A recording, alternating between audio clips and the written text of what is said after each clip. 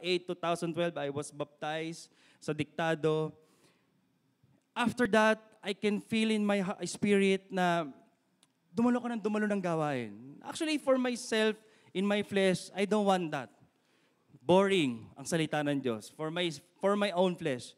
But kapag po pala tayo ay nalilid na ng banal na Espiritu, nandun na yung, ayan, o, babasahin niyo po dyan, open their minds so that they can understand the Scripture. So minsan, nan- nan- nan- naniniwala at nan- nauunawaan ko po kayo. Kung minsan, bakit ganun? Parang hindi ko maintindihan yung sinasabi ni brother or sinasabi ni pastor or yung binabasa ko, bakit hindi ko maintindihan?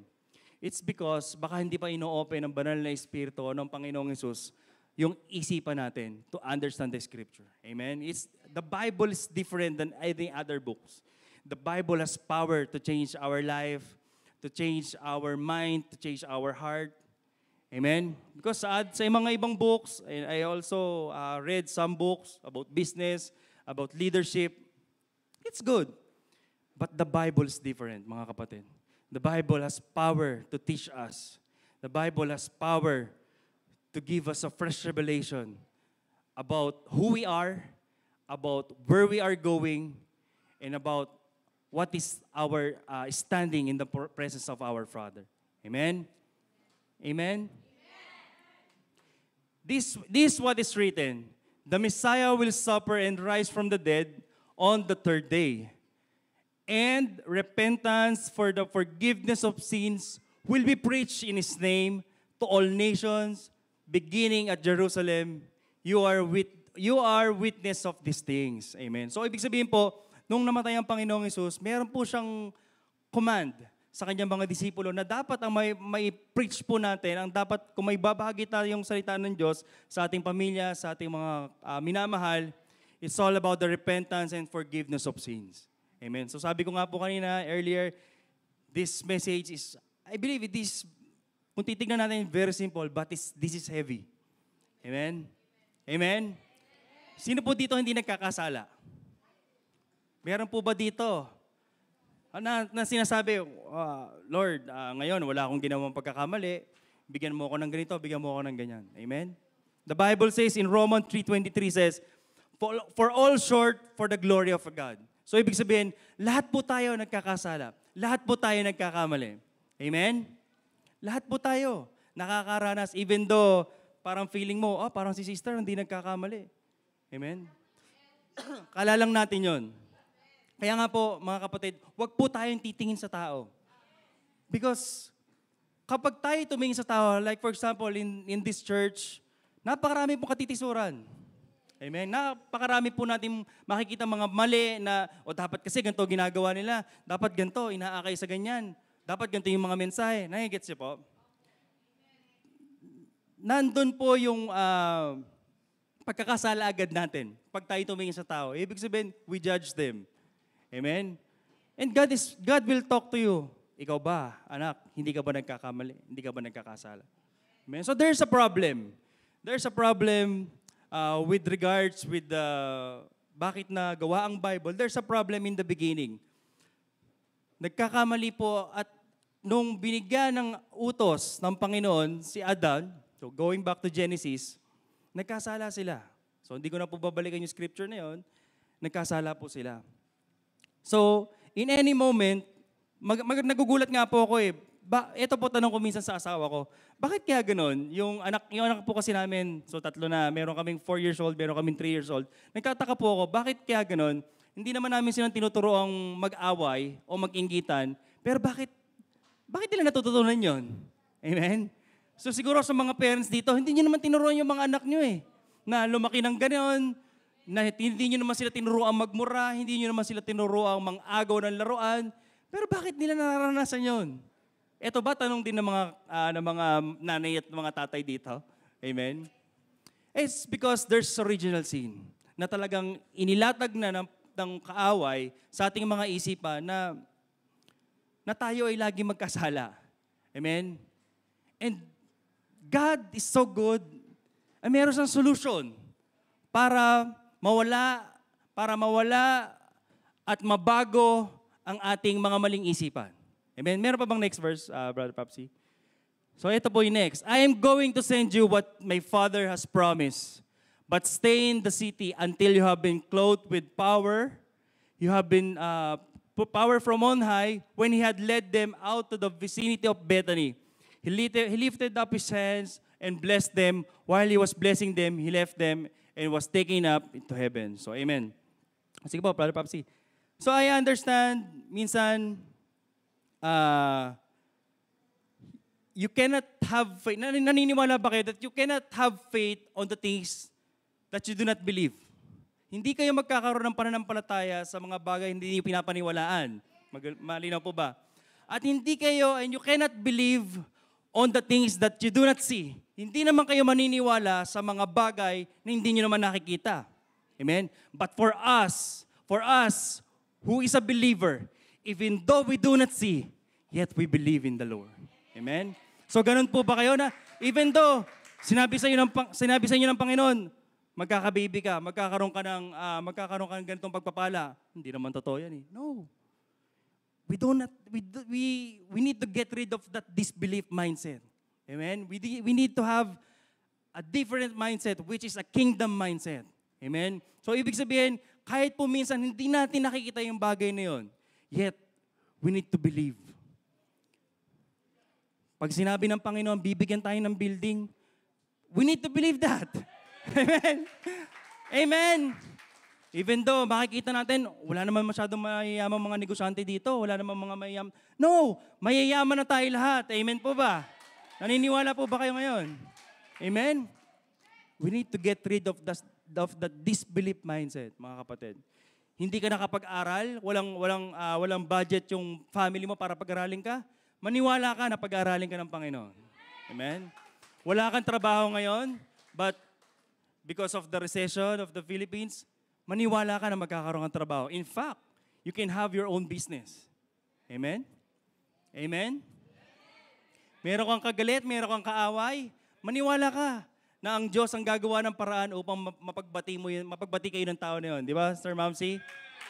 Amen? Amen? Iniwan ka niya. Iniwan ko ng mahal mo. Oo, mga kabataan eh. Maniwala ka.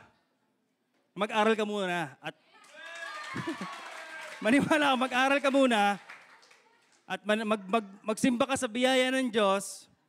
At later on, pag tamang panahon, bibigyan ka na ng tamang Diyos upang maka, magka-boyfriend at girlfriend na kayo. Amen? Amen? Nakita ko Sister Harvey eh. Di ba, Sister Harvey? Sabi ng Panginoon sa kanya, magkakaroon ka ng baby. He- She believed that. And ngayon, makikita nyo, eh, yun na yung baby niya, kasakasama.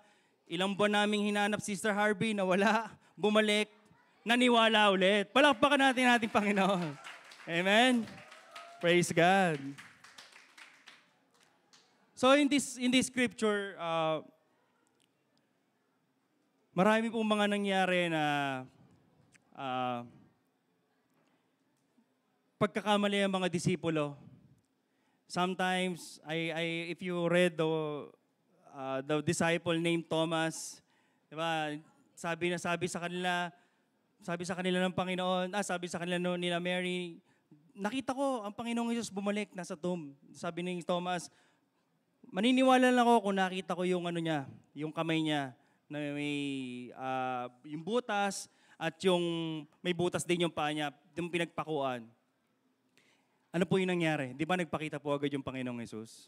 Amen? Naniniwala po ko, sometimes in our disbelief, in the midst of our trouble, mararanasan nyo, biglang nandyan yung pagpapala eh.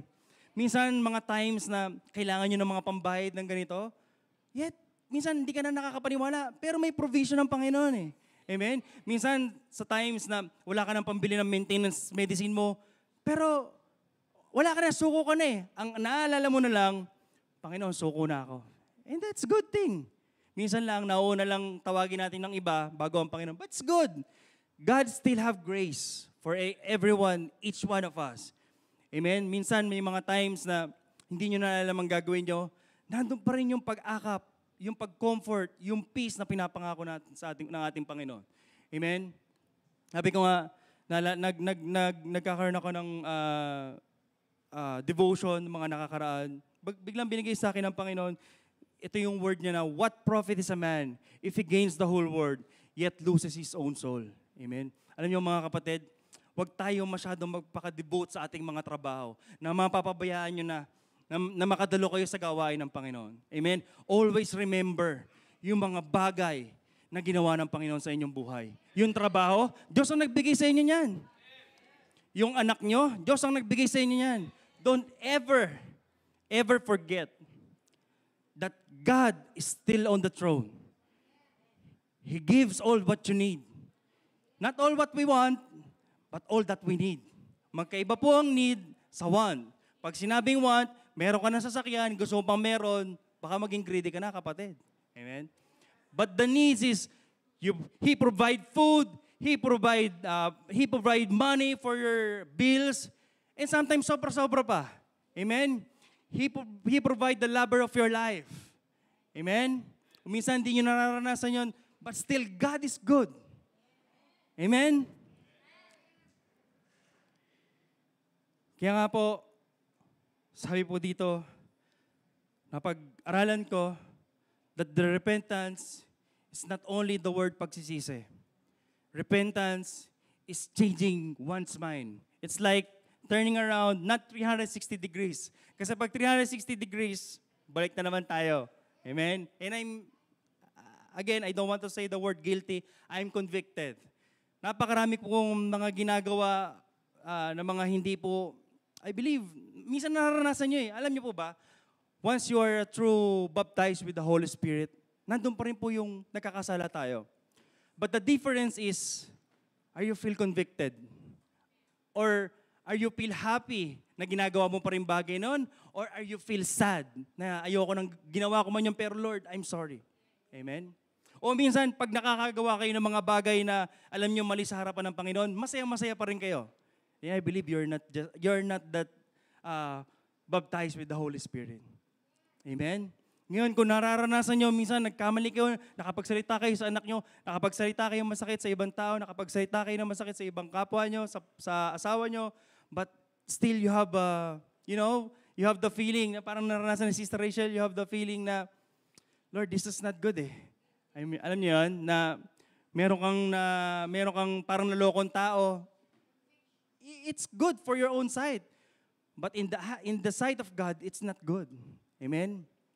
Kaya mga kapatid, mamaya, just, just listen to this message. And uh, just, if you, if you can close your eyes para marinig, maunawaan nyo at maintindihan nyo, manalangin kayo sa Panginoon sa mga oras dali nito. This thing is heavy. It's all about repentance. Amen? Because in repentance, if we don't have a repentant heart, God cannot move in this place. God cannot give all the things that we are we pray if there are things na ginagawa po natin na mali sa harapan ng Panginoon. Amen? I'm not saying, I'm not saying na uh, lagi kayo may ginagawa, but God is bringing up something, a message na magkakaroon tayo ng balance na hindi lang lagi pagpapalay na naririnig natin. Makakarinig tayo ng mga mensahe na minsan, alam nyo, na pag tayo nasaktan, and that's the time na we, we get convicted. Amen? Ah, tatandaan nyo, huwag kayong magagalit sa akin kung makakarinig kayo ng masakit. It's the Word of God. I feel too. I feel convicted too. I'm hurt. Nung, na, nung ako'y nag-aaral nung, uh, nung mga mensahe na to. And God is so good. So mamaya, just watch out for the, for the next revelation coming from God. So, so again, so repentance is changing one's mind. Na minsan, uh, Naalala ko yung tagpo sa Bible. Kung naalala nyo yung kwento ng isang rich man, di ba sabi niya, hindi ko na po pupuntahan, sabi ng rich man, Master or teacher, paano ba ako makakapunta sa, sa kaharian ng langit? Paano ba ako maliligtas? Sabi ganon. Sabi ng Panginoong Jesus, ah, sabi ng rich man, ginawa ko na po lahat. Yung Ten Commandment, commandment ginawa ko na. Hindi ako nag uh, pumatay. I honor my mother and father, etc., etc. Sabi ng Panginoong then it's good. Ibenta mo lahat ng ari-arian mo, then follow me. Amen? Amen?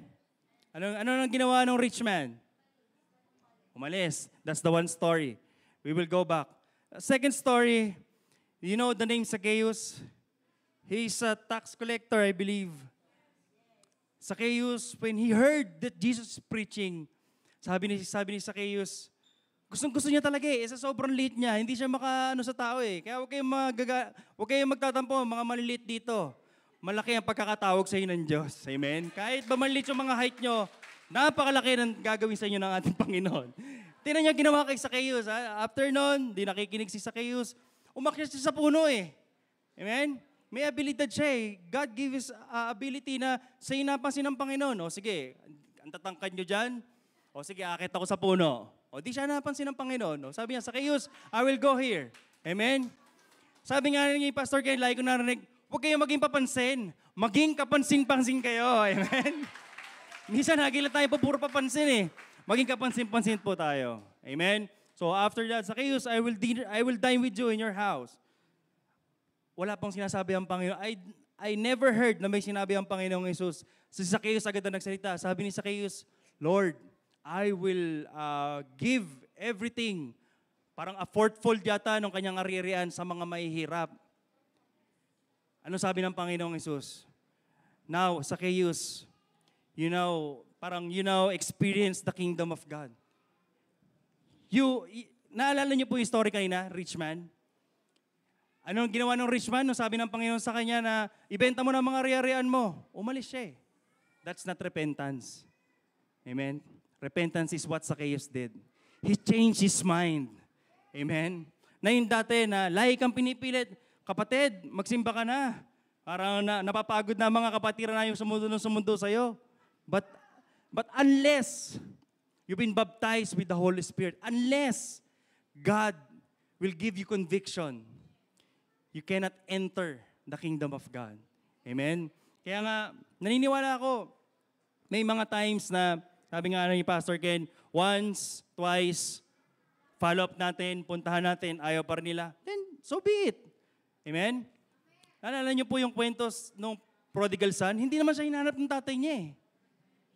He, he has conviction na, Lord, I sin against heaven and you. Amen? Minsan ba nararanasan ba natin yung ganon? Mga kapatid, nakakatakot. Pag minsan hindi na tayo nagkakaroon ng prayer na, Panginoon, patawarin mo po ako. Baka mamaya ang prayer po natin, Panginoon, pagpalain mo po ako, pagpalain mo ang aming pamilya, pagpalain mo ang aming negosyo. Amen? Nakakatakot po. Baka mamaya feeling po natin sa sarili natin, Lord, I am faith. I have, I have faith. I am faithful servant. Eh, nandyan yung pagsubok. Tan tanan tanan. Amen? Ano nangyari? Oh, Brad, nasa ka na? Hindi ka na makita. Ah, Kapatid, eh, nadali ako ni Satan eh. Amen? But God is so good. Amen? Sabi nga, naalala ko, nung, naalala ko yung story ni Peter nung nakita niya naglalakad ang ating Panginoon sa tubig. Sabi ni Peter, Lord, I want to try that. Di ba, nung tumutong si Peter, nagkaroon siya ng doubt. But there's a message. Even though you are not faithful, God is still able to catch you. If you are drowned, if you are experiencing difficulties right now, God is still able. Amen. Just give it all to Him. Amen. Your money, your car, your baby, your wife, your husband, your kids, give it all to God. Amen. Minsan, gusto niyo ba maka-experience ng peace? It is, uh, dif- magkaiba po ang comfort sa peace, mga kapatid. Wala pong sinabi ang Bible na God will give you comfort. Amen? But what does the Bible says? God will give us peace. Hallelujah. Sabi ko nga nung nakakaraan, I don't want to feel comfort. Comfortable life is, yes, you have a money for everything that you need to pay for. You have a luxuries. But still, you, have, you don't have peace. Amen? Komportable yung buhay mo. Nasa kondo ka nakatira or maganda yung bahay mo, fully furnished, aircon, hindi mo naranasan maglakad. You're comfortable. But you do not ha- you do not have peace.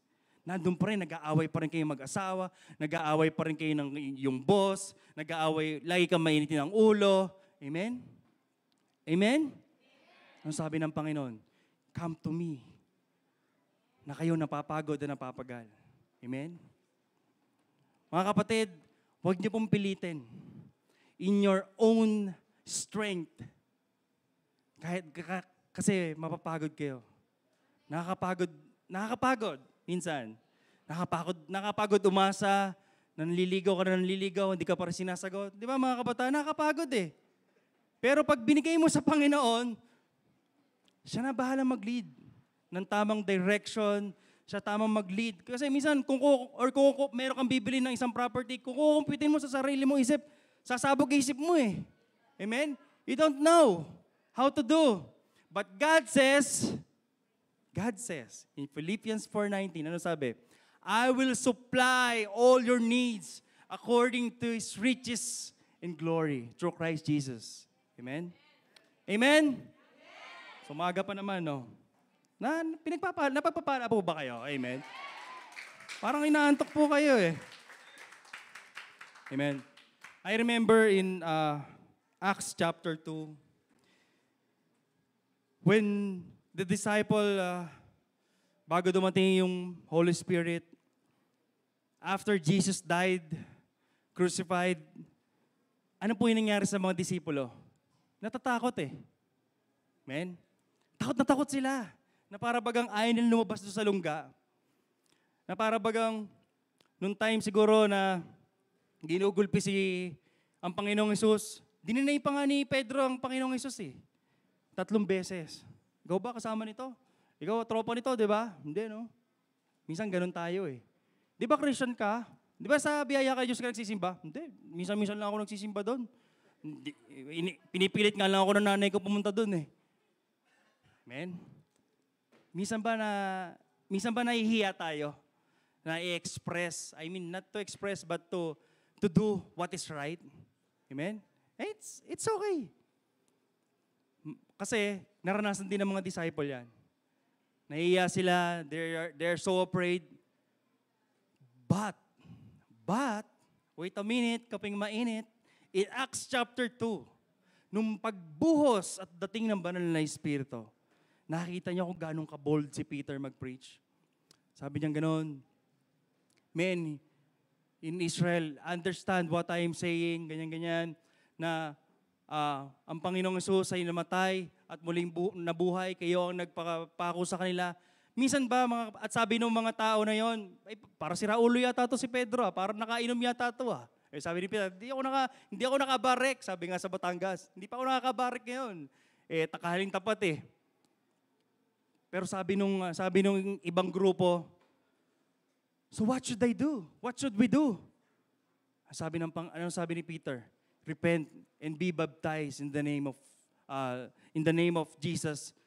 Be baptized of the Holy Spirit through the name of Jesus Christ. Amen. O minsan ba may mga times na ah, yung yung pagkakasabi sa inyo Halimbawa, every week, nagkakaroon tayo ng pagsasama-sama, nakikinig tayo ng salita ng Diyos. Minsan ba nakakaramdam kayo ng conviction? Or minsan, pag narinig nyo, lilipas naman yan, basta mahalaga, nakapagsimba ako. Amen? Amen? Can you assess your life right now? Yung dating si brother na ganito, yung dating si sister, ano na yung nawala sa inyo? Sabi nga ni Sister Rachel kanina. Or ano na yung nagain nyo? So minsan kasi, di ba, pag nag-pray tayo, ang gusto lang natin, Lord, bigyan mo ako ng ganyan. Pero we do not pray na, Lord, alisin mo po yung pagiging mainggit ko. Lord, alisin mo po yung pagiging mainitin ng ulo ko. Lord, alisin mo po yung pagiging sinungaling ko. Lord, alisin mo po yung ah, pagsugot ko sa nanay ko. Amen? Amen? May nababago po ba sa atin? Or are we still every moment, every week, ah, ilang years na ang biyaya ng Diyos, but you're still the same? Have an assessment of your life. I believe God is talking right now, mga kapatid. Have an assessment of your life. And I feel too. I feel convicted too. And I believe there are, lot, there are lots to change in our life. Amen? And we cannot change it unless we have repentant heart. Amen? Amen? Amen? Naiintindihan niyo po ba? Unless we have repentant heart. Di mga kapatid, These are the benefits of repentance. Nung ako'y nagbubulay-bulay kanina, ah, nagising ako mga 3 to 4 a.m. yata. Si Sisi kasi nandito pa sa, sa tiyan ko. eh. Lagi gusto nun matulog dito eh. So, I have a time to to have a peace with God and have to talk to Him. And He gave me this, um, ano nga ba yung mga benefits na makukuha natin kung tayo magkakaroon ng repentant heart. So before tayo mag-start dyan, last uh, story, you remember one of the Pharisees praying and one is the tax collector. Sabi ng Pharisee, Panginoon, salamat po at hindi ako katulad nung uh, makasalanan na yon. Salamat po at ako po ay lagi nakakapag-ayuno. Salamat po at ah, ang ako po ay lagi nakakapanalangin na mahaba. Salamat po at ako po ay nakakapagpagaling ng may sakit. Amen. Ano yung ano yung difference ng prayer nung sa Luke chapter 19 yata to? Anong difference ng prayer nung tax collector? Lord, I'm sorry. Ako po ay lagi nagkakasala sa iyo. Lord, I'm sorry that I always do these things na lagi kong sinasagot ang nanay ko, lagi kong inaaway ang asawa ko, lagi kong ah, inaaway ang ah, mga mahal ko sa buhay, ang aking mga office mate. Alam niyo, yung para bang kakagik, pagka, pagkapasok mo sa opisina, binati ka ng office mate mo, che, parang di mo pinapansin. Amen? Minsan- may mga ganun tao eh, na parang nag-good morning ka na nga, parang dala-dala nila lahat ng problema. Amen? And we don't have to engage with that. We, we are the light. We are the light and salt of this world. Kung hindi man tayo mabate, God bless, kapatid. Pero, yung pagka, pero hindi naman yung, God bless, patay ka sa akin mamaya. Malakas ako sa Diyos ko pag pepray kita. Tandaan mo yan.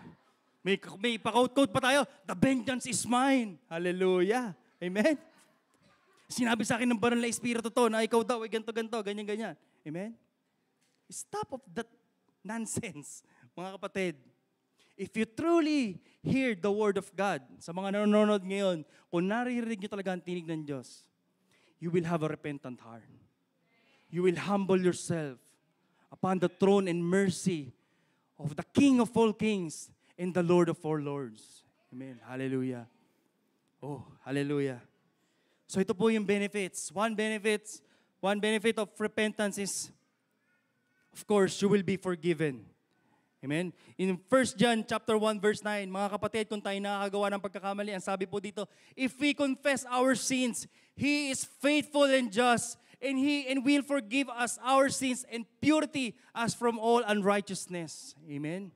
Mga kapatid, nakagawa kayo ng pagkakamali, don't ever, ever neglect to pray instantly, Lord, I'm sorry. I did this. I don't want this, Lord. You know, um, I remember uh, in John chapter 3 when Nicodemus is vi- visiting Jesus. Oh, madaling araw siguro. Biruin nyo ah. Sa kapanahon ngayon, siguro sila yung mga mga pare, sila yung mga mga pare na parang mga cardinal sin, mga gano'n. He visits Jesus, para siyang he trembles, na parang hindi siya mapakali eh. Ah, Lord, ano ba gagawin namin? Alam ko na ikaw ang, yung mga salita mo ay galing sa langit eh, na pinadala ka, you are the Messiah. I believe you. Pero ano ba yung dapat namin gawin? Amen? Siguro, alam niyo na, alam niyo na to, ito yung message na, na born again. But it's the first time that you ever read the word born again in the scripture. So sabi, di ba sa John chapter 3, balisan ko na lang, sabi ng Panginoong Isus, unless you've been born in spirit and water, you, you will enter the kingdom of God. So kung di, kung di ka daw mababaptize ng Espiritu at ng sa water, hindi ka makakapasok sa sa kaharian ng Panginoon. Amen. So I believe magkakaroon tayo ng schedule ng ano ng water baptism for the next few months, uh, few days. So uh, so yun po, short announcement lang. Like, So sabi ng Panginoong Hesus, hang, hangtong hindi ka makaka hindi ka makakapasok sa kaharian ng Panginoon unless you're being baptized with the Spirit and uh, the water. So paano ba 'yon? Eh paano ako makakapasok? Eh ang laki-laki ko na eh. Paano ako papasok sa sinapupunan ng ng nanay ko? Di, di parang sabi ng Panginoong Hesus, ito ba naman tong ano, tanda-tanda mo na, tanda-tanda mo na sa salita ng Diyos, di mo pa rin alam yan, sabi ng Panginoong Hesus sa kanya. So sabi niya, you need you need to be baptized with the Spirit. Kasi nga gulong-gulo siya eh. Gulong-gulo si Nicodemus na gustong gusto niya makatikim ng salita ng Diyos. Gustong gusto niya makaranas, mapuntahan yung kaharian ng Diyos. Amen? That's why sabi ng Panginoon sa kanya, you need to be baptized. Kaya kayo mga kapatid at minamahal, just desire to be baptized with the Holy Spirit. I believe, kung tatanungin niyo ako, paano ba mabaptize? I don't know. You need to have an encounter. Because that's what we experience. We have an encounter with the Holy Spirit. We have, in, we have an encounter with Jesus Christ. In fact, ibibigay lang sa inyo ng Diyos, sa atin ng Panginoon, kung ano yung desire ng puso natin. Amen? Kung ang desire natin hanggang dito lang, yun yung mararanasan natin. Pero if we desire, Lord, I want to deeply, more, deeper and deeper know you. And He will give you that desire. Amen? Kaya nga, in, in uh, Acts chapter 2, verse 38 to 40, uh, Brother Papsi, nakalagay ba yun dyan? Acts 2.38, verse 40, nagkaroon sila ng, yung sabi ng, ni Pedro, repent and be baptized with the Holy Spirit. Nagkaroon sila ng, ng uh, nagkat yung puso nila. Kaya kayo mga kapatid, maranasan nyo po to. Hindi man, huwag kayong titingin sa mga nagsasalita. But maranasan nyo at makarinig kayo ng mensahe. Kahit sino nagsasalita dito sa pulpito, in Benmore Pastor, kay Pastor Magda, kung sino man po ang nagsasalita, kailan makaranas kayo na may conviction kayo sa puso nyo. Amen? Because God is, God is changing us from glory to glory. Amen? Palakpakan natin ating Panginoon. So the next thing is, God will bring you back the connection to God's presence do, through Christ Jesus. So it's, it's this, a, this a second thing na bakit ba natin kailangan ng repentance. Pag wala tayong repentant heart, subukan nyo mga kapatid, huwag kayong magsimba ng ilang linggo, huwag kayong magsimba ng ilang buwan, huwag kayong manalangin, uh, huwag kayong makipag-fellowship. Ewan ko lang kung ano mangyari sa buhay nyo. Sa buhay natin pare-parehas. It's, it's hard. Amen? Amen? It's really hard. It's really hard to compete in this world. In fact, you don't have to compete. It's hard to, you know, minsan, tama naman yung ginagawa mo, pero ganito yung gagawin sa'yo ng ibang tao. Amen? Wala tayong ibang pwedeng gawin, kundi magtiwala lang sa ginagawa ng ating Panginoon. Amen? So, in order for us to bring back the connection to God, kailangan natin na magkaroon ng repentant heart. Just say sorry, Lord. And never, ever do that again. Kung magkamali man tayo at ginawa natin ulit yon, never neglect to repent again. Amen? Because naniniwala ako, sabi ng Biblia in, in uh, 2 Corinthians verse 9, uh, God give us grace. When we are weak, then Christ is strong. God give us grace in our weaknesses. Hindi natin po kaya. Kailangan po natin mga kapatid, grasya ng Panginoon. Amen? Next is, we are set, uh, the next benefit is we are set free from bondage. Amen? Bondage of vices like paninigarilyo, pag-iinom ng alak. Ako naalala ko nung time na uh, ang lakas ko pong main, ma- uminom. Uh, hindi ko alam. Nung ako, na, nung, nung ako po ay dumadalo na po sa simbahan na to, hindi ako sinasaway ng misis ko, nagiinom pa rin ako. Because, yun yung po yung naka, naka ano yun, naka, gisnan. I mean, yun yung nakaugalian ko or yun yung, doon ako masaya. I think that I am happy for that. But through the process, through the process, I attend the church, I attend uh, weekly Bible meeting, Bible study, I read the Word. Di, bigla akong naranasan na wala na po sa akin yung pag-iinom eh. Bigla ko pong naranasan na parang may nagbabago na sa akin. I am not perfect. I have a lot of things that I did to deal with God, na dinidil sa akin ng Panginoon. But again, there's a process. Amen? God do not expect you to be sinless, but He expects you to be sinless. Amen? Nag-guess po ba yan? God does not expect you na mawala lahat yung kasalanan niya, maging perfect na kayo. God expects us na mabawasan yung mga kasalanan natin. Amen? Kaya nga tinanong ko kayo noong una, yung premise ko eh, kayo ba, hindi kayo nagkakamali? Meron ba dito na talagang hindi na nagkakasala? Amen? Pare-pares po tayo mga kapatid. All of us fall short. And there needs to be a solution na gawin ng Panginoon para mabayaran yung pagkakamali natin. We are in bondage. Kaya sabi sa Galatians 4.7, ano sabi dito, Brother Papsi, So you are no longer a slave. I'm no longer slave to fear. I am the child of God. but God's child. And since you are a child, God has made you also an heir. Amen? Kaya't hindi, kaya't hindi ka na alipin, mga kapatid. Hindi na tayo alipin. Sabay-sabay nga din, sabihin, hindi na tayo alipin. Kundi anak. Amen. At dahil ikaw ay anak, Sister Monica, ikaw ay ginawa na ring tagapagmana sa pamamagitan ng Diyos. Hallelujah! Woo! Are you really blessed today? I pray that you will release from every bondages that the enemy is trying to, you know, trying to uh, imprison us. Amen. I speak release right now in the name of Jesus. I speak healing right now in the name of Jesus. Oh, hallelujah.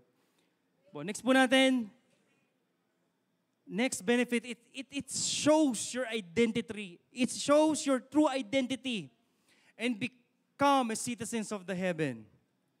Sabi sa 2 Corinthians 5.17 ito, alam na alam niyo na, Therefore, if anyone is in Christ, the new creation has come to the oldest gone, the new is here. Amen? Kaya ang sino mang nakipag-isa na kay Kristo ay isa ng bagong nilikha. Ang mga lumang bagay ay lumipas na. Masdan ninyo, ang lahat ay naging bago. Amen? Kaya ako, ting- tingin ko sa inyo, mga harit, mga prinsesa eh. Amen? Hallelujah. Palakpakan na natin ating Panginoon. Kaya mga kapatid, it shows your true identity and become a citizens of heaven. Don't belittle yourself. Huwag yun ang isipin na, hindi mo nakapagtapos ng pag-aaral, ah, mahirap lang yung pinanggalingan ko family. No. Your identity is in heaven. Your life, kung kayo matatanda na ngayon, I life starts at 60. Amen? There, there are lots of things we need to do na pinapagawa sa atin ng Panginoon. You can pray with us. You can heal the sick. Amen? Di ba, Sister Meda, Sister Rosil? Kaya kayo, hindi po tapos. Hindi pa po. Hanggat po tayo may hininga, hanggat po tayo ay nandito at buhay pa at awat tulong ng, at habag ng Panginoon, ang trabaho po natin hindi lang po magpayaman. Hindi lamang po pumasok ng pumasok trabaho, magkaroon ng maraming project. No, that's, not, that's not the true job. Our true work is deployment. We need to gather more souls. Amen? Pag pinayam, bakit ba tayo papayamanin ng Diyos? To give to the church. Meron tayong radio ministry, meron tayong TV ministry, and we will saturate the 7,107 island. Amen? Palakpakan natin ating Panginoon. That's our true identity in Christ Jesus. We are the sons and daughters of the living God. Amen? Aba, ano kaya pakiramdam, no? Pag, pag lagi mo iniisip sa iisipan mo yon, ba, ako, ako pala anak ng Diyos? Ano yung mangyayari sa inyo? Huwag niyo isipin, sa, salita lang naman yan, brother. No, words have power. Amen? The moment you speak it, it has power. Kapag sinasabi mo lagi na, hindi man ako makakabili ng ganito, hindi ka talaga makakabili, kapatid. Hindi ka talaga makakabili. But kung pagising mo po sa umaga, Lord, thank you that you give us a brand new car. Kung nangungupahan ka ngayon, Lord, thank you that you give us a brand new house. Amen? Lord, thank you that you give us uh, pambayad sa tuition fee for four years agad. Amen? You need to believe. We need to believe. And that's our true identity. We now have access to the throne. Amen? Amen? Amen. Praise God. Kaya nga po, alam nyo, actually this uh, this another message pero I just want to uh, to stick uh, stick deeper with this identity. Minsan kasi yung identity natin napakahalaga po talaga nito eh. Na minsan kaya tayo kaya tayo para minsan Monday eh, kayo ba eh, sa mga nagtatrabaho dito? Pag ba Monday tamad na tamad kayo magtrabaho? Meron ba ditong nakakaranas nun? You don't have to experience that. You know why? God gave you work. You're praying for work. Then why are you tired? Then ang gusto yung trabaho, yung madali lang, hindi kayo na-challenge, pagdating ng 15.30, gusto nyo na sumweldo. Amen? Amen? That's unfair with the employer. Amen? Monday na Monday, tinatamad ako pumasok sa school. Woo! Kakatapos lang ng message ng Sunday, kakatapos sila magsimba, tinatamad ka bukas. Amen? Amen? Amen? Sabi natin sabay-sabay, I'm sorry, Lord. I repent, Lord. Amen? That's your true identity. Correct. Don't complain. You do not have something. You're praying for a car. You have a tricycle. Linisin mo na linisin yung tricycle mo. So pag nakapag, napagkatiwalaan ka ng Diyos, He can give you a car. You want to have your own business? Ayusin mo yung pagiging empleyo mo. So your God can trust you to have your own business. Amen? Gusto mo nang mapapangasawa? Kailangan ligawan mo muna yung mga magulang. Amen? Di ba, Sir Rosil? Ligawan mo muna yung magulang bago mo ligawan yung mga babae or, or yun nga. Di naman pwedeng babae manligaw sa lalaki, di ba? Meron pa gumagawa. May nakikita ko sa Facebook, babae na nagpo-propose eh. Amen? Hindi tapos, huwag kayo papayag mga babae. Huwag kayo papayag. Amen? Kaya ako, yung dalawa kong anak, humarap sila kay Bato. Yung mga manliligaw sa anak ko. Amen? Kaya ako, mag-gym ako eh, sa mga susunod na panahon eh. Lalaki na yung anak ko eh. Uncontrollable na po mga kapatid. Hindi po, uncontrollable na po yung ah, society natin ngayon. Napakaraming nabubuntes. Yung nga, yung nalala ko, yung nanganak yung si Sister Jenny dun sa isang ah, paanakan. 11 years old, biruin nyo, 11 years old na buntis agad.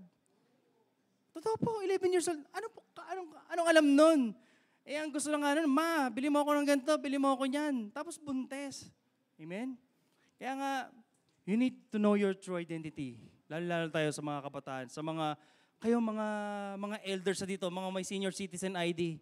Tayo, magkakasama tayo pag tayo kakain sa Jollibee. Ano yan, laki ng discount eh.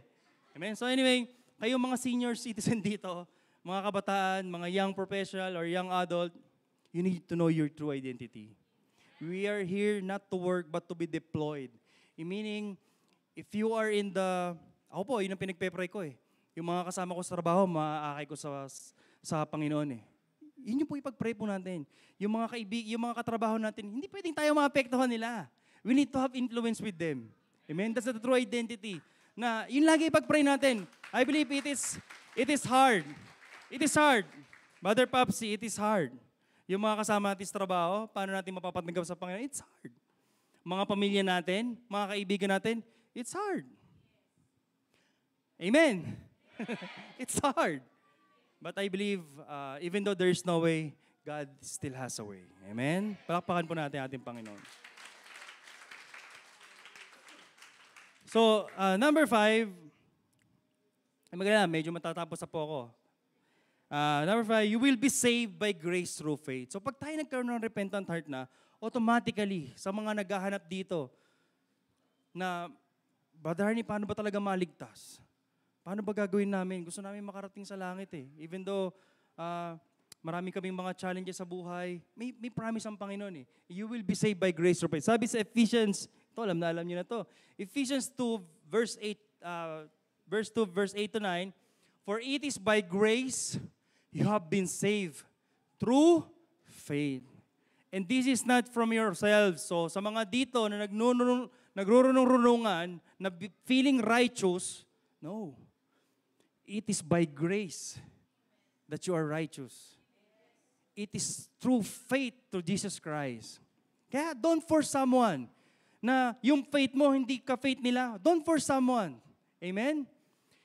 in proper time, sabi nga sa Bible, di ba, there are times and season. Kaya nga, kung may mga kapatiran tayo dito na parang di pa ganun sila maalap, no. Just wait for the perfect time. Amen? Bakit ba sila, Brother Popsy? Bakit ba ako? Nandito, nagsasalita ngayon. Ay, minsan nga, in-imagine ko nga kanina, nagkakaroon ako ng pagbubulay-bulay. Lord, honestly, I'm not worthy to be here. Amen? But since I know my identity through Christ, God sent me here today to preach you about His message, about His goodness. Amen? Amen? Alam nyo, minsan, ah, wag nyo lang, ah, wag nyo lang kakainin yung mga masasarap. Amen? Minsan yung maasim, masarap din eh. Di ba? Minsan pag nagda-diet ka, hindi naman mga masarap eh. Pag nagda-diet ka eh. Yung brown rice, yung corn rice. Sabi ko kay Sir Mamsi, I challenge her nung fasting namin, kumain siya ng corn rice eh. Marana, mar, malasahan niya yung corn race. Pero, alam niyo, minsan pag hindi ma, pag mapakla o maasim, may benefit eh. Amen? So what I'm uh, basically saying is, pag tayo minsan nakakarinig tayo ng mga mensahe about repentance, about uh, I need to surrender my life, I need to say sorry to God, masakit yun eh. Minsan natatamaan kayo, natatamaan tayo pare-parehas. But dun sa bitterness na yun nararamdaman nyo, they will come a fruit. Amen? It will free us from bondage. Amen? Kaya minsan wag yun ang kainin, yung mga matatamis. Mat- tataba kayo dun eh. Kain kayo minsan ng mga mapakla, mga ampalaya, sa mga bitter dito. Kain kayo ampalaya para yung mga diabetic, mga may diabetes, in the name of Jesus, I speak na mawala sa inyo right now. I speak healing in the name of Jesus right now. Sa mga ma- sa mga may high blood, in the name of Jesus. In the name of Jesus. You are here right now. Sa nanonood ngayon in the live stream, kung ikaw ay may na-experience sa sakit ngayon, we pray for you in the name of Jesus. You are healed right now. Amen. Praise God. Okay? So number six, ano sabi dito? You are entitled to inherit and receive the full promises of God. Hallelujah. Do you want that? Mga kapatid, in your downtime, in your uh, time of, you know, yung para bang ang sakit-sakit ng likod nyo, sakit-sakit ng ulo nyo, ginawa nyo na lahat. Pero in your downtime, always seek promises of God in your life. If you have problem with the provision, i-declare mo na ikaw pinayaman ng Panginoon. If you have problem with the with your health, i-declare mo na sa mga latay ng Panginoong Isus, ikaw ay pinagaling na. Amen? Actually, mga kapatid, naniniwala ako, being born again is tough. Sabi nga ni Pastor Ken, it's a lonely, lonely road. Minsan, ah, magugulat ka, hindi, dati tinetext ka ng mga kaibigan mo sa mga gimmick, pero ngayon, pag, pag uh, tinext ka nila, sinabi mo, Brad, pasensya na, pre, hindi na ako pwede. I'm not that, I'm not that horny anymore. Who do you think you are?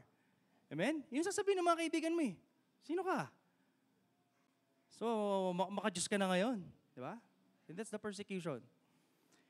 And for those who believe, tayo, sa mga kinakausap ng Panginoon na nandito, sa mga oras ang dali nito, na naririnig niyo yung mensahe ng Panginoon, turn away from the earthly things na nakakapagpawala sa inyo ng pananampalataya niyo sa ating Panginoon. Amen? I am speaking from the heart of God. Turn away from every sin. Amen? I am convicted, mga kapatid. Kung meron kayong mga tao na nasaktan nyo, nakasakit sa inyo, approach them and say sorry to them. Kung may pinapagawa ko sa inyo ng Diyos sa mga oras ng dali nito, don't, don't ever neglect hearing words God. Kung meron sa inyo gusto na parang, parang sabi sa akin ng Panginoon, bigyan ko si kapatid na ganito eh. Bigyan nyo agad, mga kapatid. That's the move of the Spirit. Gusto nyo minsan umiyak? Kayong mahiya. Amen? Real men, real men cry. Diba, Brother Popsy? Amen? Oh, laki kong tao, minsan iyakin ako eh. Amen? Praise God. So, when you are in your downtime, always remember the promise of God. Amen? Minsan kasi, actually, ako ha, kung ako tatanungin, kung ako Panginoon, unfair nga kayo minsan eh. I'm acting, kung ako lang, eh hindi man ako Panginoon eh. God is a gracious God. Sabi sa Psalms 103, He did not deal with us according to our sins. Ibig sabihin, kahit ginawa mo, napakalaki ng pagkakamali mo, hindi pa rin niya dinidil tayo doon. You know why? Psalms 103 says, He understand na tayo nang galing sa alabok. Wow!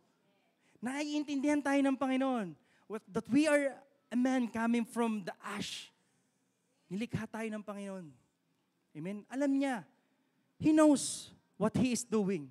Trust Him. Alam niya na magkakamali tayo later on. Alam niya na papatay ng kanyang anak na si Yeso Kristo. Amen? Kaya nga niya pinadala ng Panginoong Yesus eh. Jesus came here to experience us heaven here on earth. Amen? Amen?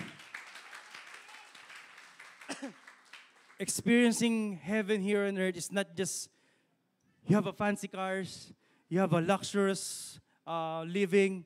Experiencing heaven here on earth is even though you are in the midst of the trouble or the midst of the storm, God still give you peace. Amen? Even though napakaraming mga challenges na binabato sa'yo, hindi mo naman ginawa yon, ikaw pa rin ang mali, God will still give you peace. Amen? Amen? So the only reason why Jesus came down here is to bring heaven here on earth. And that is the kingdom of God. Kaya mga kapatid, later on, I will invite you, every, each one of us, let's come and enter the kingdom of God. Are you excited? Amen? Sige po, Brother Popsy. So in Galatians 3:26 to 29, ano sabi dito? So in Christ Jesus, you are all children of God through faith. For all of you who were baptized into Christ have clothed yourself with Christ. There is neither Jew nor Gentile, neither slave nor free, nor is there male and female. For you are all one in Christ Jesus. Amen? If you belong to Christ, ito mga kapatid, then you are Abraham's seed and heirs according to the promises. Amen? Amen? Kaya kayo, tayo lahat tagapagmana.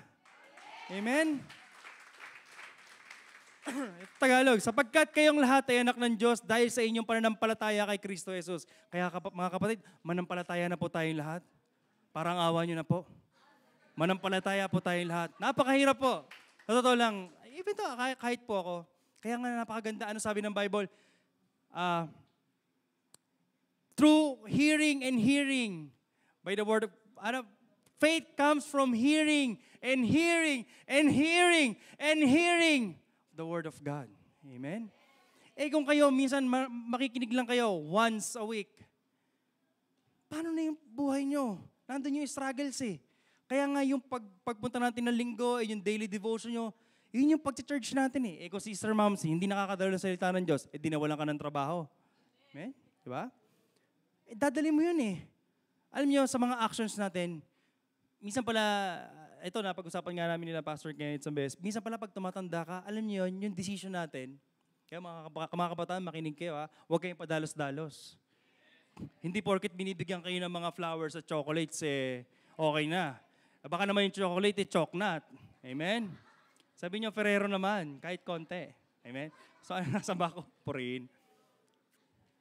Ano nga ba sasabihin ko? Praise God. So, yun. Pag tumatanda, ta- salamat po, sir. Minsan pag tumatanda ka pala, minsan, you slow to ano eh.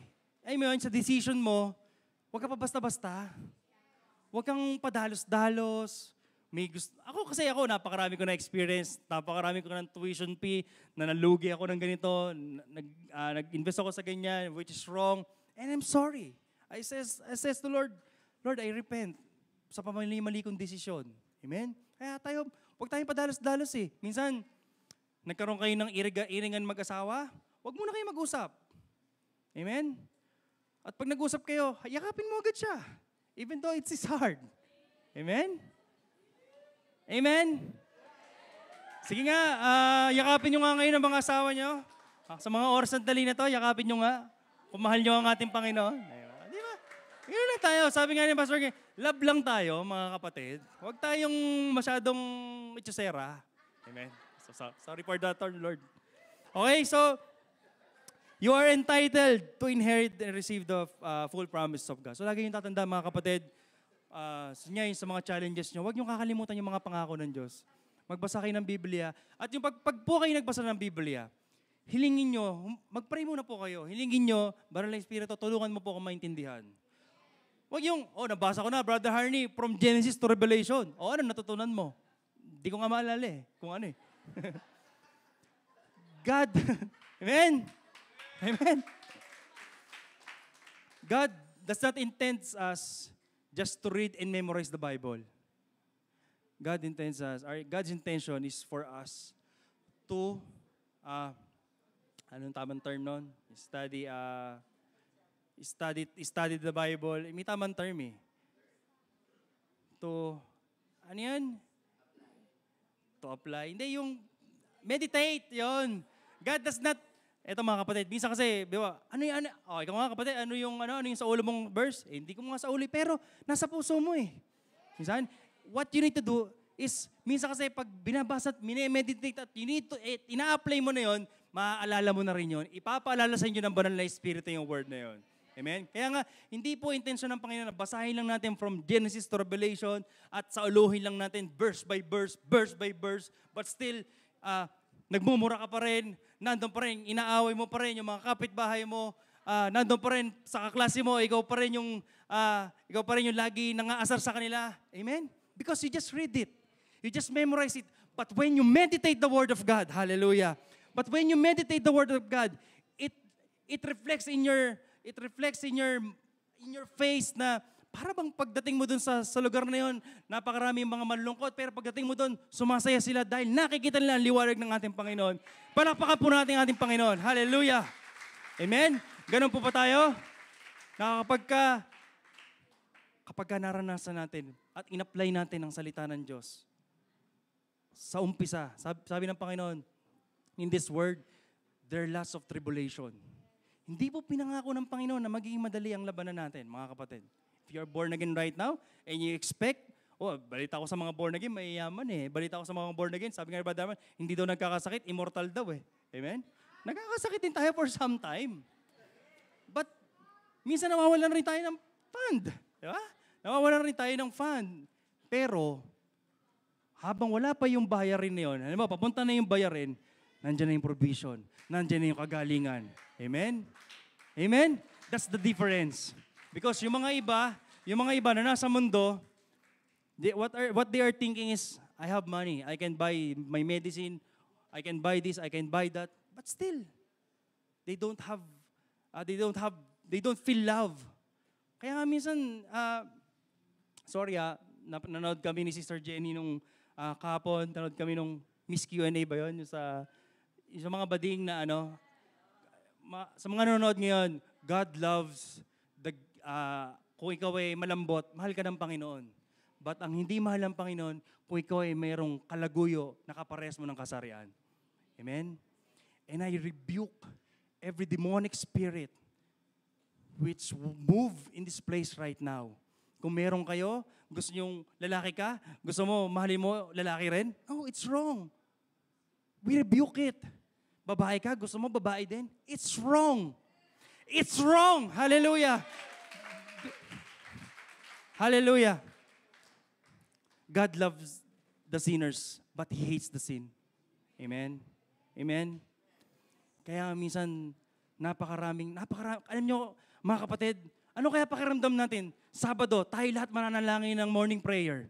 Naniniwala ako. There, there will be a sudden change. Kaya kayo mga kapatid, nasa inyo na kayo makasama sa panalangin. Huwag lang Sunday. Ilang beses na kayo pinipilit nyo sa sarili nyo, ito yung gusto kong mangyari, ito yung ginagawa ko. But still, hindi pa rin yung nangyayari. Maybe there's something wrong. Maybe change. You parang ganito yan eh. Meron kang gustong kuwanin na isang bagay, same, same na same yung ginagawa mong strategy, hindi naman nangyayari, ano dapat gawin? Baguhin. That's what God did in our time. He changed the covenant to the new covenant.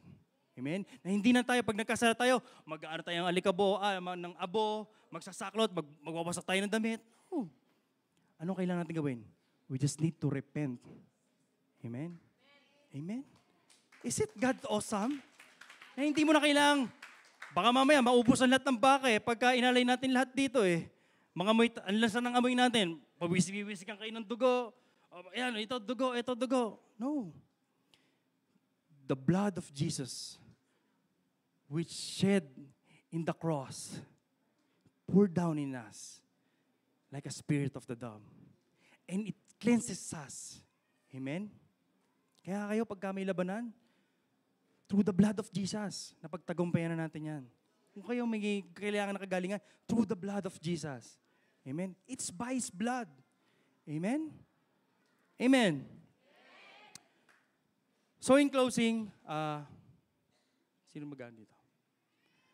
Sige po, ah, tayo pong lahat eh, pumikit habang ako eh, nagtatapos sa mensahe. Kung gusto nyo pumikit, pumikit kayo. But, I just want to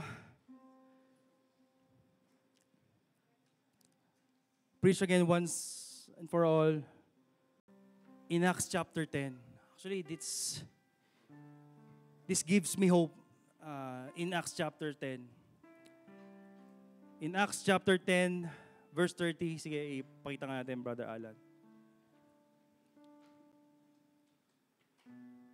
In Acts chapter 10, verse uh, 30 to 43, you can, ano, you can, you can just be quiet or you can just uh, close your eyes and think about the goodness of God. Think about all the things you, you've been doing na may mga vices ka pa rin na hindi mo mai-let go. Later on, we will come all enter the kingdom of God. In Acts chapter 10, this gives me hope, mga kapatid. Cornelius answered. Before I read that, anong nangyari po dito in Acts chapter 10, habang si Pedro ay ah, nagugutom siya na, at binigyan siya ng vision ng Panginoon na pinakitaan siya ng mga pagkain. Sabi ng Panginoon sa kanya, Pedro, ah, kuhanin mo at kainin mo yung mga pagkain. But sabi ni Peter, Oh Lord, I do not eat clean, ah, unclean foods, yung mga maduduming pagkain. Kasi ang mga Israel noon, hindi sila nakakain ng mga maduduming pagkain. So, but God said, nilinis ko na yan. Pero God is, uh, have a parallel or have a meaning about the name, a man named Cornelius. So Cornelius is a centurion, and a centurion is an officer in the army of ancient Rome who has responsible for 100 soldiers. So ibig sabihin, isa siyang uh, officer ng, ng, ng Roma, uh, may mga tao siya ng mga 100 soldiers. So ibig sabihin, hindi talaga siya ano, hindi talaga siya Hudyo isa siyang hentil. Pero one good about I read this story in Acts chapter 10 is, is that dininig ng Panginoon yung panalangin ng centurion. Alam niyo kung bakit? Ah, centunyo, cent, the centur, Cornelius always give to the poor. Amen. Kahit siya hentil, na, hindi niya nalilimutan na magkaloob sa mga mahihirap. Kaya mga kapatid, yun po yung desire po natin. Magkaroon tayo ng pagkakaloob, lalo-lalo na sa mga walang kakayanan. Amen. Kaya sabi ng Panginoon sa kanya, uh, Cornelius, God uh, heard your prayer. Kaya ito ang ginawa sa kanya ng Panginoon. Since narinig ng prayer ni Cornelius, sabi dito, Acts chapter 10 verse 30, Cornelius answered, Three days ago, I was in my house praying at this hour.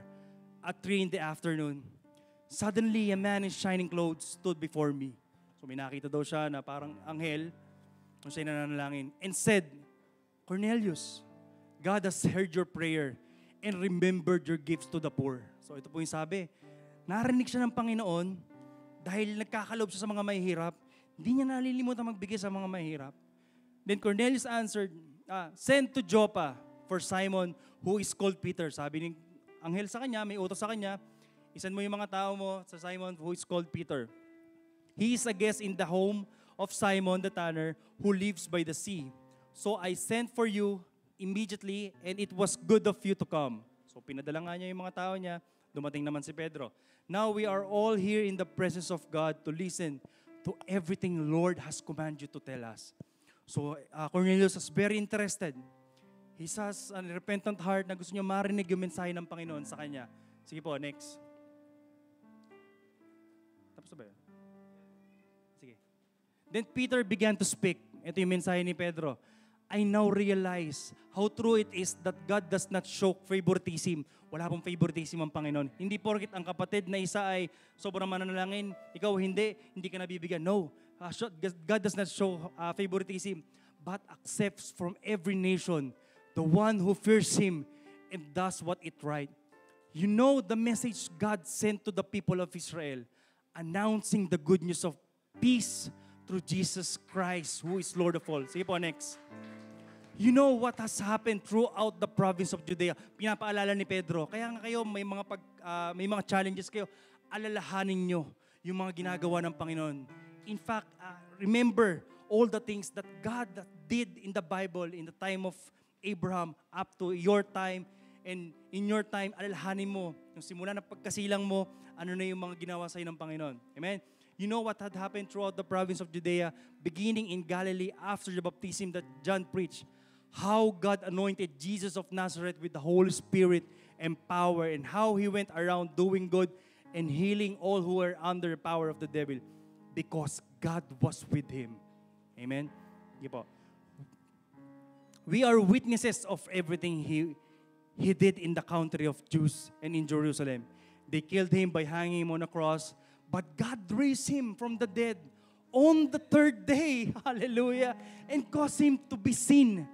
He was not seen by all the people, but by witness whom God had already chosen. You are a witness, mga kapatid. We are a witness. Pinili tayo ng ating Panginoon. By us who ate and drink with Him after He rose from the dead, He commanded us to preach to the people and to testify that He is the one whom God appointed as judge of the living and the dead. And all the prophets testify about Him that everyone who believes in Him receives forgiveness of sin through His name. Hallelujah.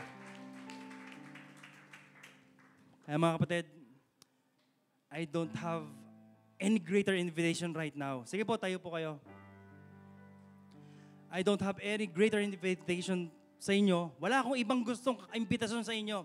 Kundi tayong lahat ay makapasok at makaranas ng kaligtasan. Makapasok sa karya ng ating Panginoon. Do you want that? Amen. The Bible says in Romans 10 verse 9, If you declare with your mouth, Jesus is Lord, and believe in your heart that God raised him from the dead, what happened next? You will be saved. Amen. Sapagkat kung ipapahayag mo ng, sa pamagitan ng iyong bibig, si Jesus ay Panginoon, at sa sasampalataya ka ng buong puso na binuhay siyang muli ng Diyos mula sa kamatayan, ay maliligtas ka. Amen? Gusto niyo po bang maligtas tayo, mga kapatid?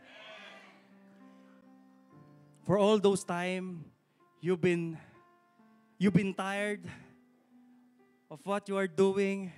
Maybe it's time to give, to give up. To give yourself up to God. So mga kapatid, sa mga oras sandali na ito, lalo-lalo na sa mga bago pong kasama po namin, at naguguluhan na hindi niya alam paano bang maligtas. Na naguguluhan siya sa, sa espiritu niya na ano bang dapat kong gawin. Ito yung gagawin natin. Just declare. Sabayan niyo ako sa aking panalangin, mga kapatid. At lalakasan niyo. Okay? Just, just close your eyes. At sabayan niyo ako sa aking panalangin. Panginoong Yesus, you can raise your hand if you want. Because raising your hand is act of surrender. You know, when you surrender, it's it's about uh, giving up. It's about being humble in the presence of God. Panginoong Yesus, maraming salamat po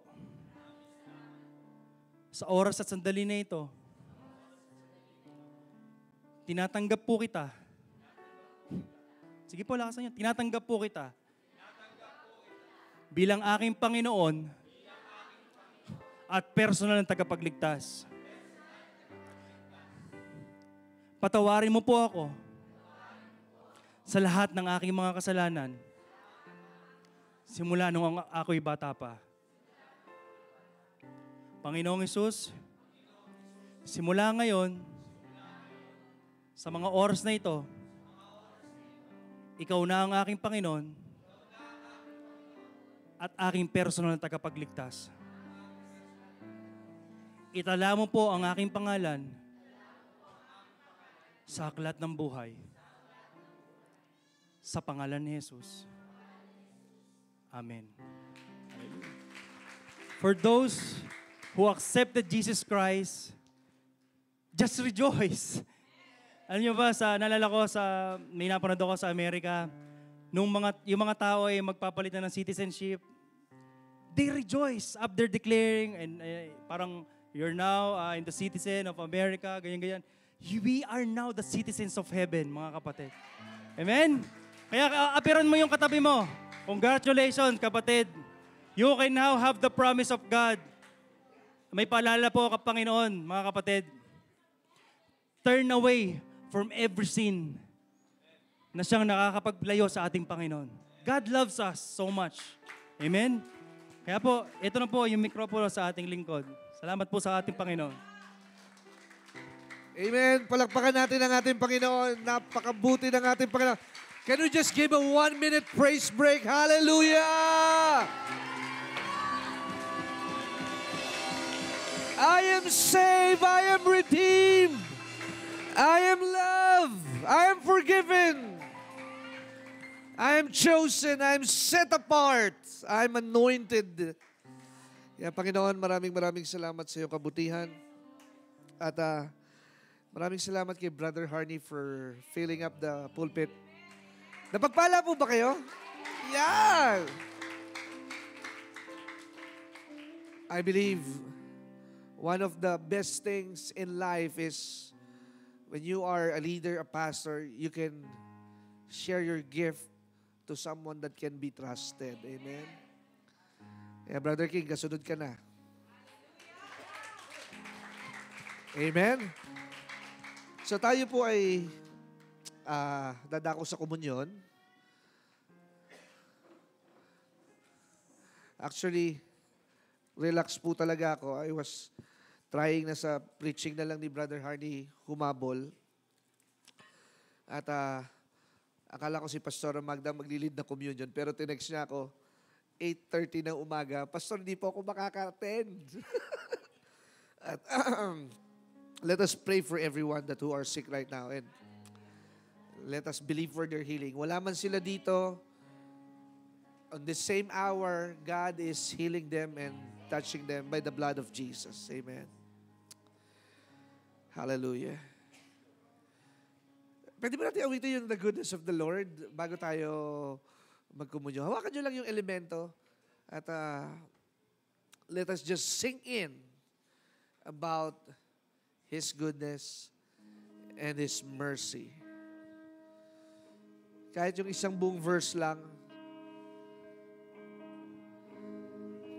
Thank you, Jesus. You are so, so good.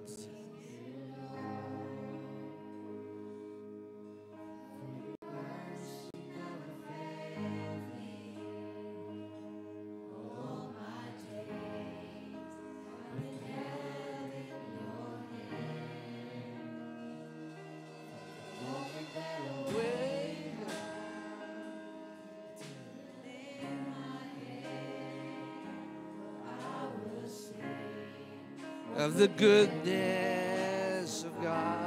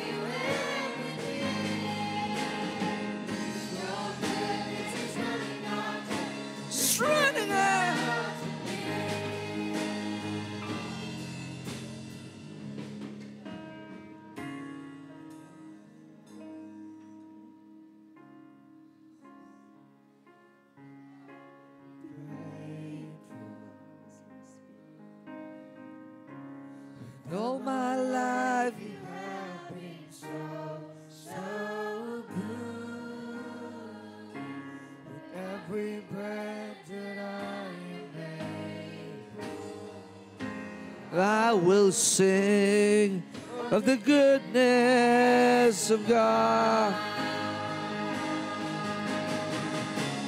All my life.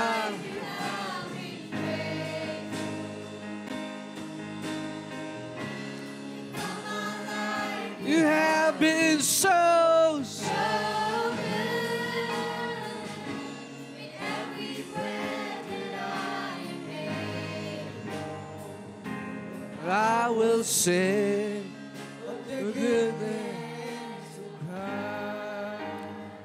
I will sing, and I will sing of the goodness of God. I will sing of the goodness of God.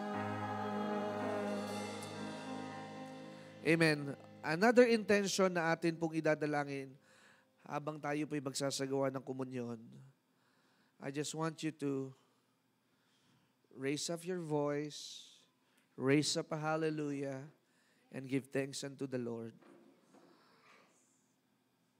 Nais ko pong ibalita sa inyo na kailangan po natin na ang bawat isa'y makaranas ng pagpapala. And as we go on to the process, nasa negotiation na po tayo, meron po tayong bibilhing property sa One Asia. Okay? Baka matapon ho yung komunyon ninyo. Huwag muna kayong pumalakpak. At napakaganda ho. It is a, a, a multi-million property.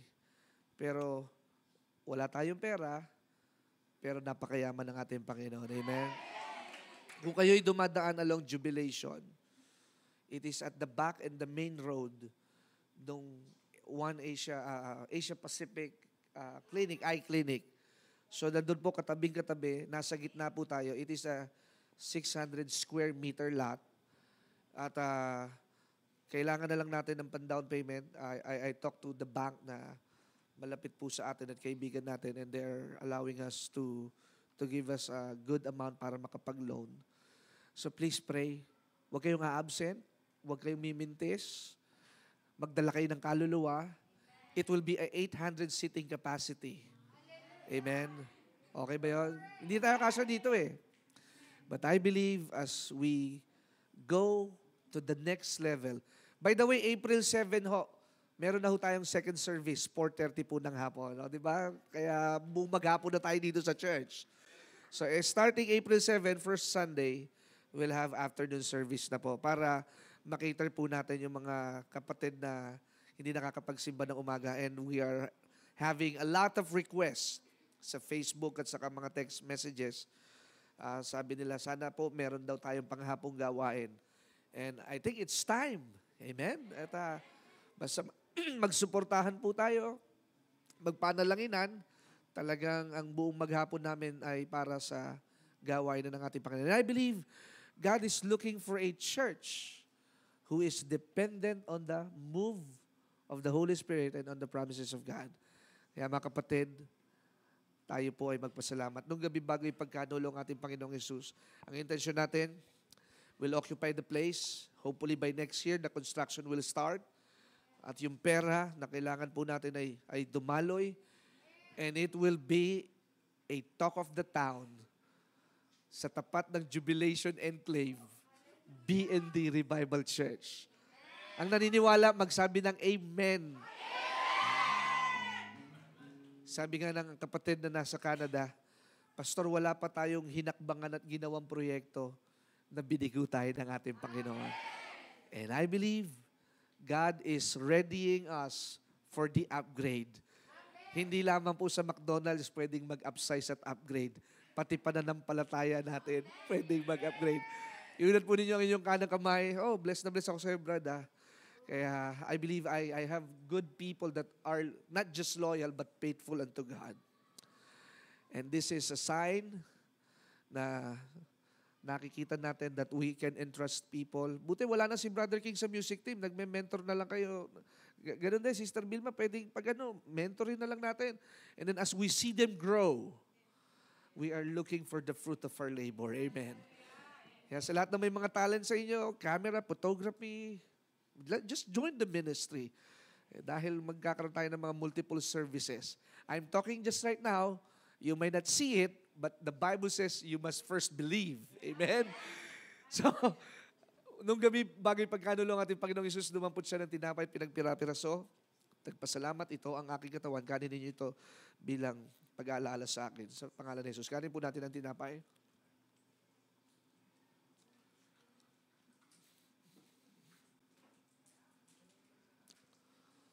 At matapos po ang hapunan, dinampot po niya ang saro.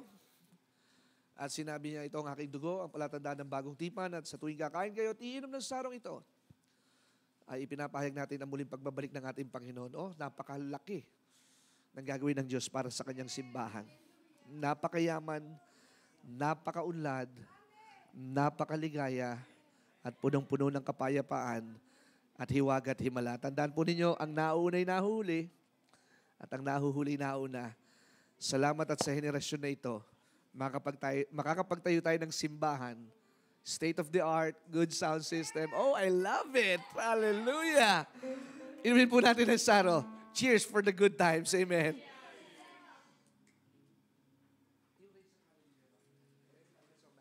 So final song natin, Raise Up, Hallelujah. Raise up your both hands.